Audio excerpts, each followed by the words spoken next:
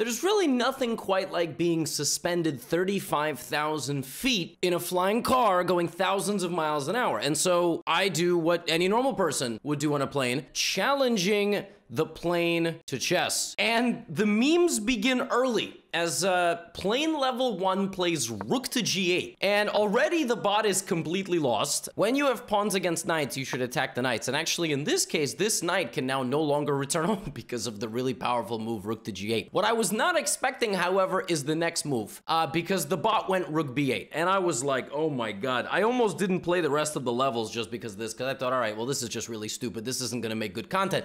Now, to the bot's credit, it did hang mate in one, but it took a free pawn, which I suppose is a moral victory.